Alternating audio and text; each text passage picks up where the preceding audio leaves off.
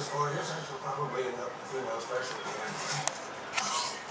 What do you mean by that? I'm internal medicine. Of course you are. My numbers go by, and most women end up in OBGYN family medicine. So they You can slam things at all you want, but when Mr. Stork comes calling, you're not